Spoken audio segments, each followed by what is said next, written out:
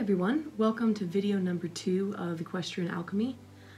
Uh, today I wanted to break down the Waltz a little bit more and what the Waltz is is basically a, a turn on the haunches and um, or pivot, whatever terminology uh, you're used to using, um, done at Liberty.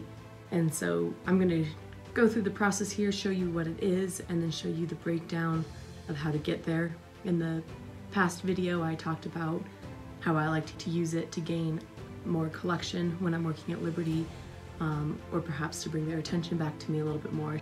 So when I work on something like this, uh, particularly if you're at the stage where you're teaching it for the first time, you want to make sure that your horse is focused on you and is listening to you.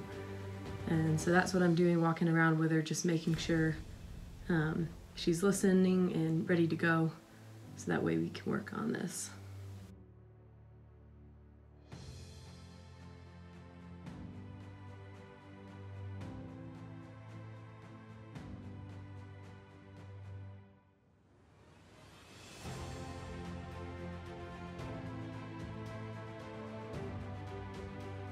Before you get started with the waltz, you, you want to make sure that you have your basic movements for Liberty down. So being able to send them out, bring them in, and turn directions. And the way I like to have it is I like them to turn in towards me.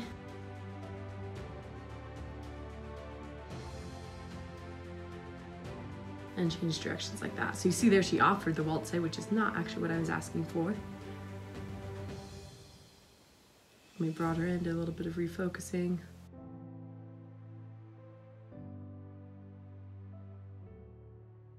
So notice, there we go. So I'm asking her to turn in and stop and look at me.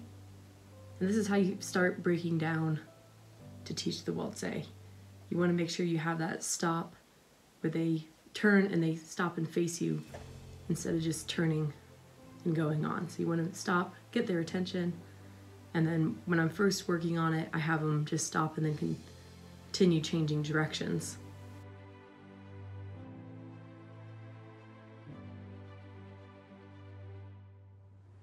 There again, I'm asking her to stop, wait for me to tell her what to do next, and then continue with the turn.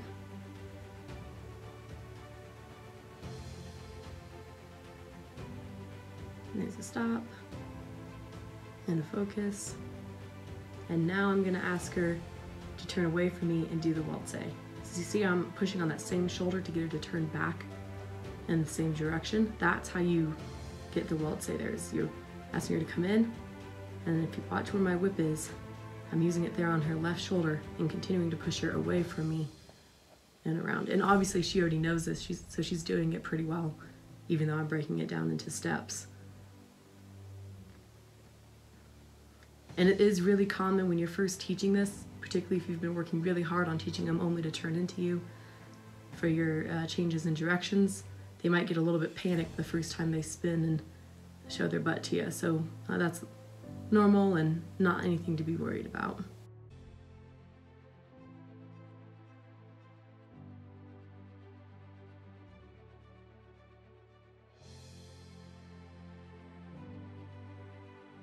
So you see there, she does wait for me to continue telling her, and I like to have that control. So this is something um, I actually do just to work on the quality of her waltz and make sure she is listening to me and not just rushing into it. You saw at the beginning, as soon as I started acting like I might want to do the waltz, she just did it.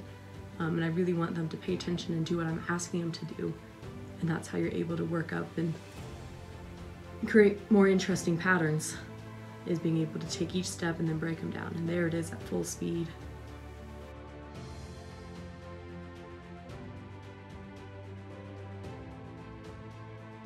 So you see when I'm doing the waltz, I always keep the whip and the hand that's behind. So in that case, it's the right hand. And there I got a sharper turn out of her.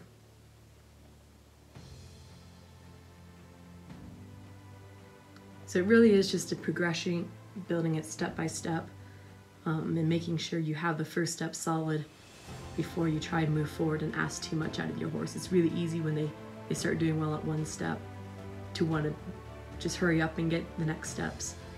Um, but you need to appreciate what your horse is given to you each day and find out what is the proper space to stop for them when they've learned the best. So thanks again for joining us, and uh, we'll release another episode of Equestrian Alchemy next month. Uh, make sure to subscribe and uh, follow our channel. And if you'd like to see the rest of our adventures, go ahead and check out our Patreon page, which is where all of our exclusive material is going to be released. And when we go on our 1200 mile ride through the Rocky Mountains here in July, uh, Patreon will be the only place to get um, current updates on that while I'm on the ride. I won't be active on social media while I'm out there.